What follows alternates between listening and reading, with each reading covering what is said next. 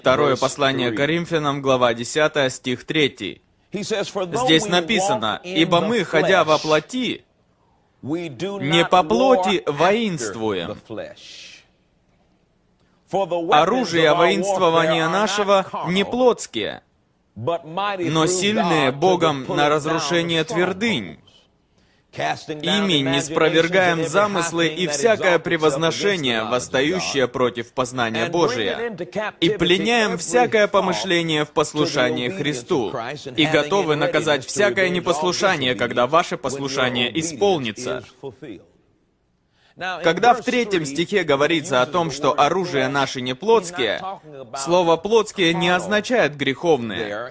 Речь здесь идет о нашем физическом теле, о физической силе. Здесь говорится о нашем физическом естестве. В расширенном переводе это звучит так, «Ибо мы, живя во плоти, в физическом теле, в реальной сфере, не сражаемся, используя свою физическую силу и обычное оружие». То есть здесь говорится, что духовная война — это не рукопашный бой и не стрельба. Духовная война — это не физическая борьба. Здесь говорится о том, что духовная битва будет другой. И далее мы видим, что из себя представляет духовная война. Поймите, мы не будем вести войну на физическом, осязаемом человеческом уровне. Нет, здесь говорится, что оружие воинствования нашего не плотские. Здесь используется слово «плотский» или «греховный», но имеется в виду наше мышление. Здесь говорится о человеке, чье мышление плотское или греховное. Мышление такого человека не изменено, и оно противоречит Божьему Слову. Итак, если ваши мысли плотские, и вы наверняка слышали выражение «плотской христианин», что такое плотской христианин? Это христианин, который по-прежнему мыслит неправильно. Плотской христианин — это христианин, чье мышление противоречит Божьему Слову.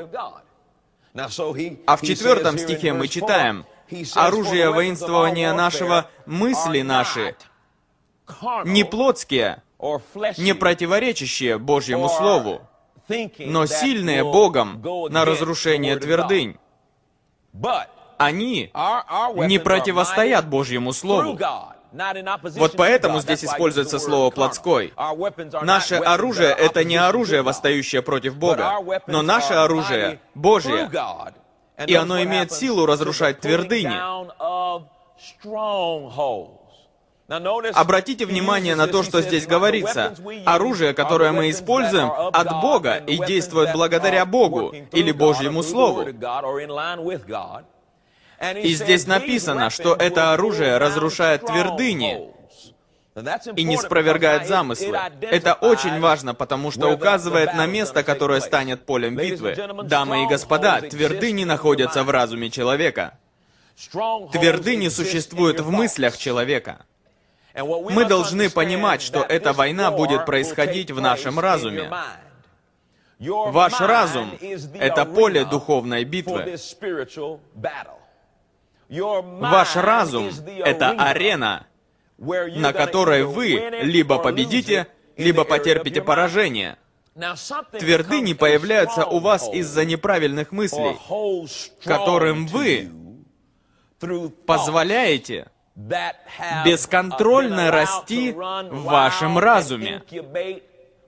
Негативные мысли, от которых вы не избавляетесь, обрастают новыми деталями, подпитываются дополнительными сведениями и все больше укореняются в вашем разуме. Проходит совсем немного времени, и, пожалуйста, в разуме человека появляется твердыня. И он говорит, я не могу это остановить. А все из-за того, что человек вовремя не позаботился о своих мыслях.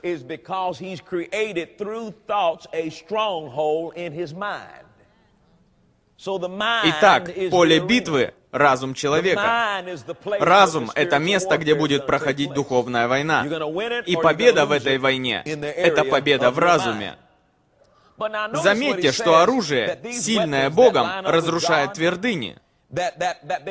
Получается, что разрушить негативное мышление можно Божьим Словом. И как это сделать? Прежде всего, не молчать. Всякий раз, когда вы видите что-то, всякий раз, когда к вам приходит та или иная мысль, вы должны спросить себя, откуда эта мысль? Если эта мысль противоречит Божьему Слову, Знайте, что она пришла не от Бога. А если эта мысль от дьявола, вы обязаны воспользоваться Божьим Словом, чтобы разрушить ее, чтобы она не смогла вырасти и послужить материалом для новых твердынь.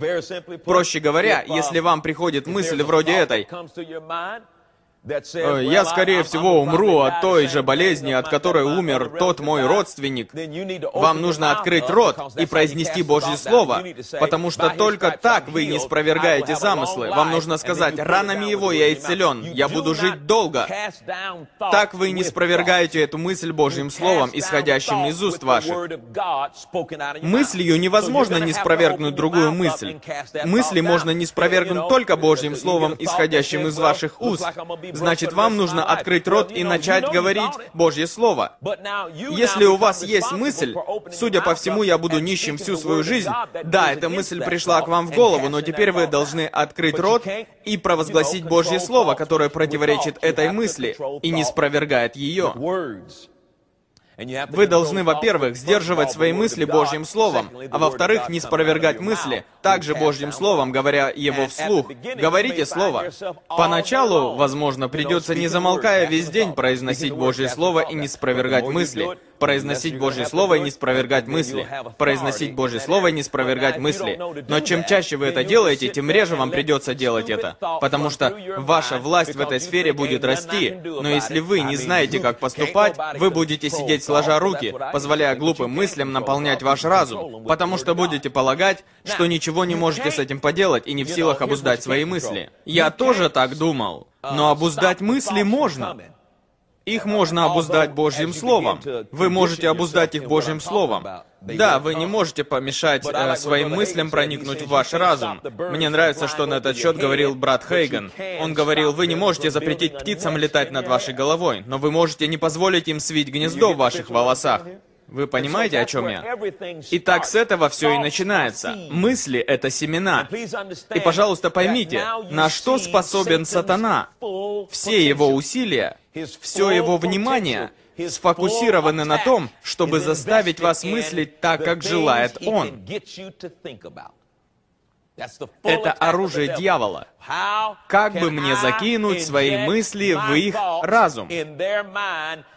Как мне добиться, чтобы мое мышление стало их мышлением? Что мне сделать, чтобы мои мысли проникли в их разум и оставались там дольше, чем Божьи мысли? Чтобы не Бог, а я обосновался в их разуме как дома. И после того, как мысли проникнут и укоренятся, окрепнут в вашем разуме, они находят выход через ваши уста, они наполняют ваше сердце, а затем овладевают и всей вашей жизнью. Вы увидели это? Это настоящая война. Это битва в разуме. Арена. Стадион, где будет проходить Кубок Чемпионов прямо сейчас. Это ваш разум. Аминь. Вы готовы к этому? Обратите внимание на то, что здесь написано. «Не спровергаем замыслы». Корень слова «замыслы» — мысль. Не спровергаем мысли. Не спровергаем мысли, потому что если в вашу голову приходит мысль, вы начинаете прокручивать ее в голове, тем самым подпитывая ее. И эта мысль становится хорошим материалом для образования твердыни. Не спровергаем замыслы. И что? И всякое превозношение, восстающее против познания Божия. И пленяем всякое помышление в послушании Христу. Заметьте, что Бог повелевает нам не спровергать замыслы и избавляться от мыслей, которые превозносятся над познанием Бога. И далее идет пояснение, как это сделать, пленив эти мысли.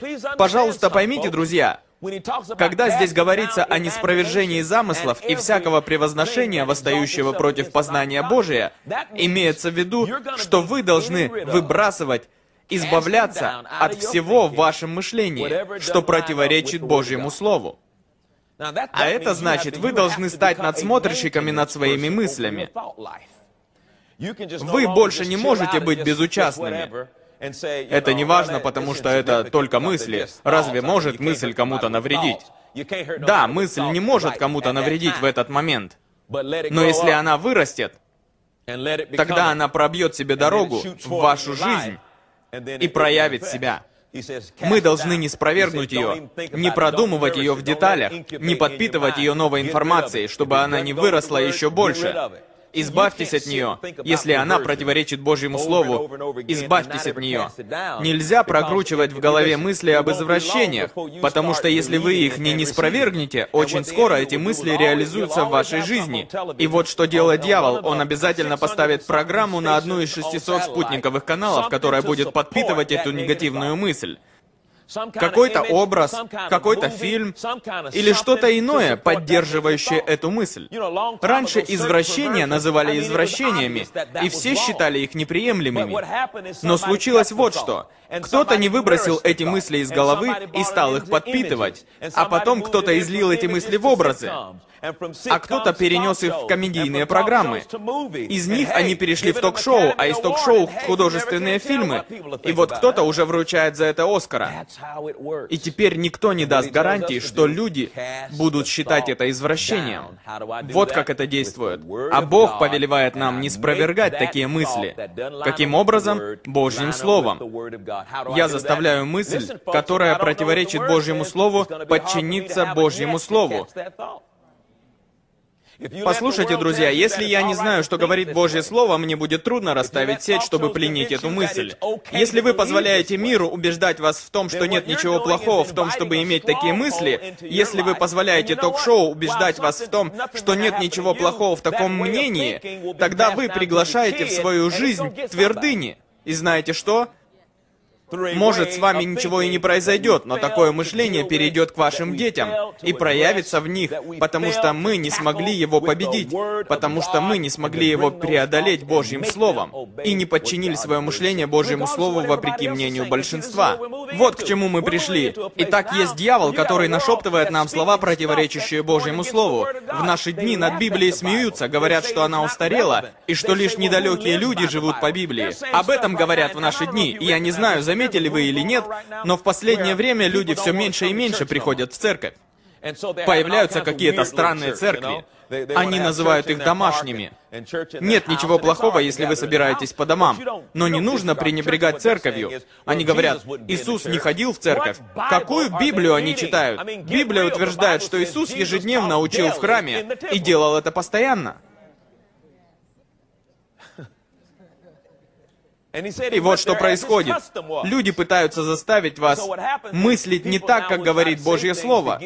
И если вы ослабите бдительность, вы начнете верить в эту хорошо замаскированную ложь, поднимающую бунт против библейских истин. И если вы этого не заметите, тогда ложь послужит неплохим основанием для строительства в вашем разуме твердыни, которая принесет проклятие в вашу жизнь, жизнь ваших детей — и последующее поколение. И все это началось с какой-то мысли, на которую вы не обратили внимания.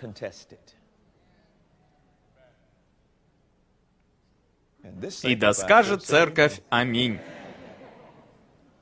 Кто-то сказал, правильно говоришь, пастор, правильно говоришь. Ладно. Давайте, давайте подытожим, какой силой обладает сатана. Вот что у него есть. Оружие сатаны — это предложение.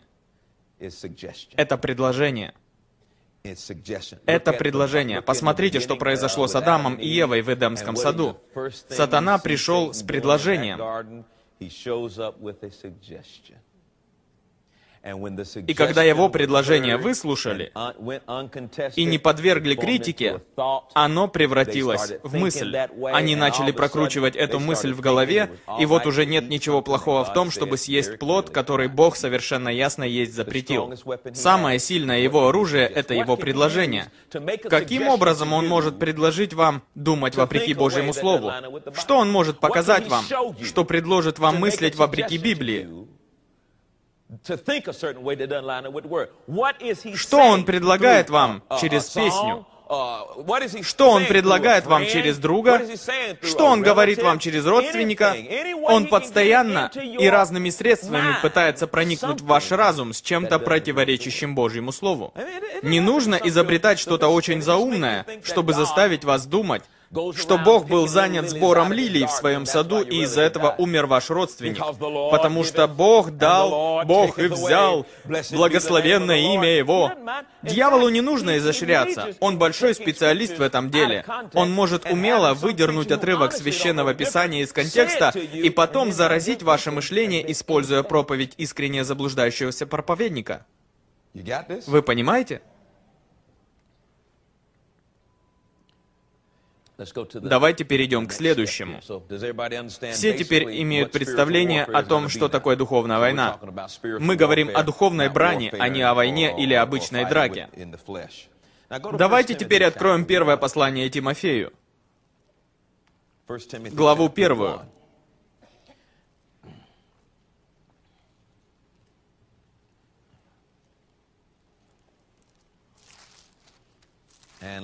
Первое Тимофею 1. Стихи 18 и 19. Стих 18 гласит, «Преподаю тебе, сын мой, Тимофей, сообразно с бывшими о тебе пророчествами, такое завещание, чтобы ты воинствовал согласно с ними, как добрый воин». Кто из вас желает воинствовать как добрый воин? Аминь. Библия говорит, что мы должны воинствовать как? Скажите, я воинствую как добрый воин. Дамы и господа, добрый и хороший воин не терпит поражений. Да? Кому из вас доставалось в школьных драках? Руки поднимать не обязательно. Но если вам доставалось в школьной драке, вы не вставали радостно с земли, грязные, в крови, без зубов и так далее, не бежали домой, чтобы похвастать маме. Мама спрашивает, как прошел день? Я дрался, как добрый воин. Хороший воин так не дерется. Тебя отлупили, и где был твой брат? Он видел драку? Куда он смотрел? Почему он не вмешался? Да, тогда мы не знали, что нужно любить врагов своих. Друзья, послушайте меня, хороший добрый воин это тот, кто побеждает. Но как нам этого добиться? Заметьте, здесь написано «имея веру». Мне это нравится. Теперь я знаю, чтобы я мог сражаться как добрый воин, мне нужна вера.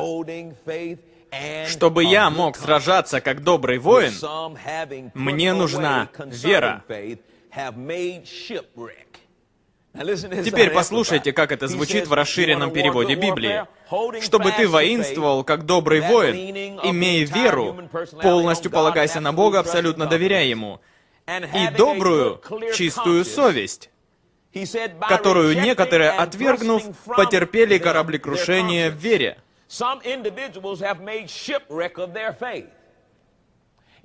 Для того, чтобы воинствовать как добрый воин, Несмотря на жизненные обстоятельства, нужно иметь веру.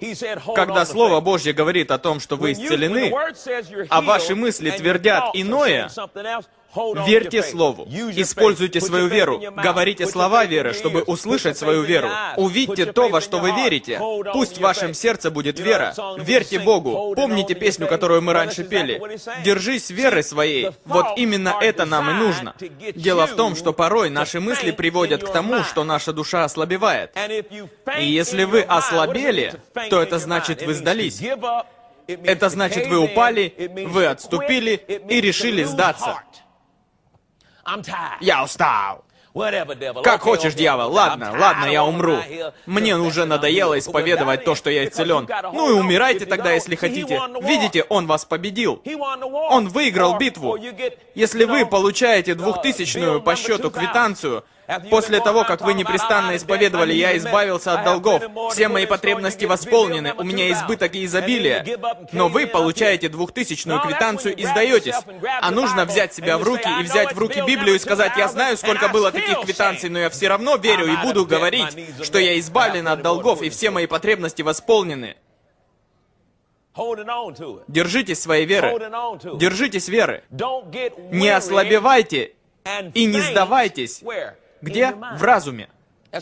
Вот чему нас учит Библия. Библия учит нас не ослабевать духом и отдавать свои мысли на откуп врагу. Когда христианин проигрывает битву, он проигрывает ее сначала здесь. Они утомились, ослабели и сразу же сдались. И когда вы ослабеваете и не следите за своими мыслями, тогда все в жизни пойдет ко дну. Поэтому здесь и приведено сравнение с кораблекрушением. Вот что происходит, когда вы теряете веру. Это подобно кораблекрушению.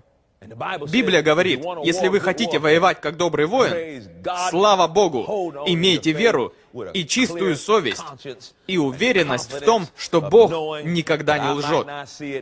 Я буду держаться того, что Он сказал мне. Мне все равно, что диктуют мне обстоятельства. Мне все равно, как ведут себя мои дети. Если вы молитесь за благочестивых детей, просто держитесь своей веры. Даже если они ведут себя как маленькие дьяволята, я все равно буду держаться своей веры. Я не сдамся, потому что однажды придет день, когда они станут такими, какими я их видел все время глазами своей веры. Аминь. Давайте откроем 1 Петра, вторую главу. Угу. Некоторые спрашивают, почему вы всегда ходите в церковь? Это наша заправочная станция. Здесь мы заправляемся, понимаете? Мы заправляемся. Нельзя доехать до Алабамы на пустом баке. Вы меня слушаете? Для того, чтобы продолжить путь, нужен бензин. А мы все на пути к небесам. Нам нужно заправляться. Нельзя на одной заправке ехать бесконечно.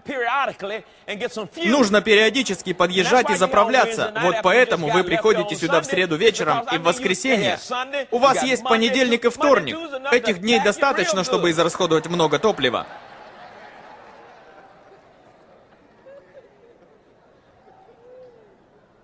Я так рад, я благодарен Богу за Его Слово. Указатель топлива показывал полный бак после воскресения.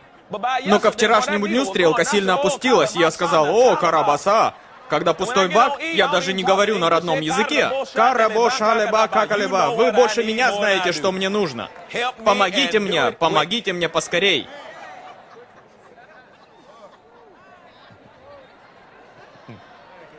Аминь.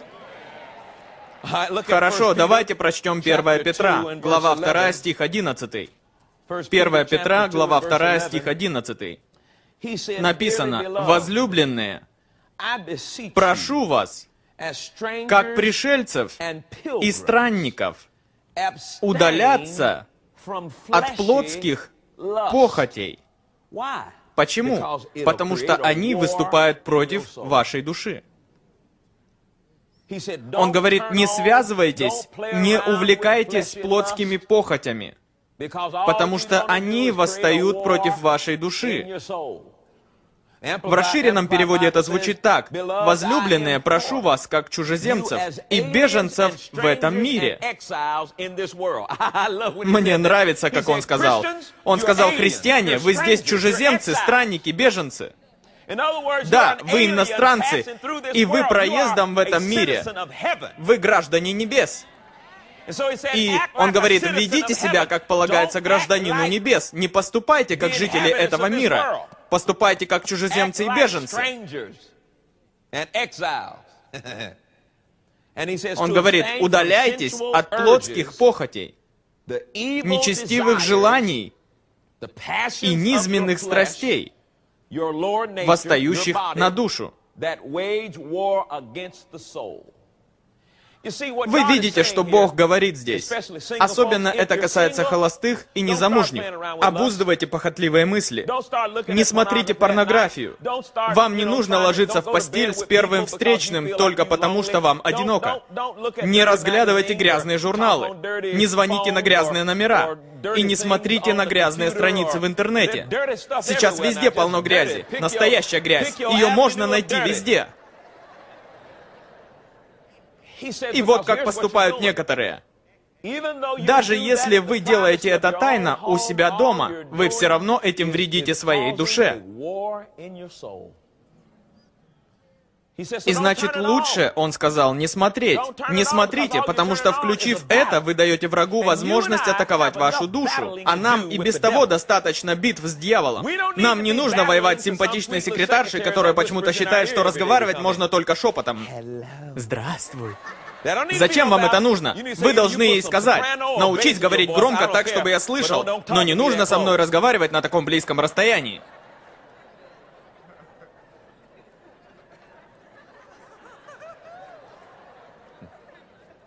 Поверьте мне, вам не нужны новые битвы. И поймите, что порой вам приходится сражаться из-за собственной глупости. Вы сами развязали войну, потому что пошли на поводу собственной похоти. Просто не делайте этого, не делайте этого. Пастор, а как же свидание? Нет ничего плохого в поцелуях. Вы сами во всем признались. Некоторые поцелуи мы с женой не позволяли себе до тех пор, пока не поженились. Нет, нет. Я помню, когда я первый раз поцеловал ее, я видел фейерверки и звезды. Я так разволновался. Я думаю, что ее мама не знает об этом и по сей день. Я сел в машину ее мамы и поехал домой. И только на следующее утро я понял, что эта машина не моя.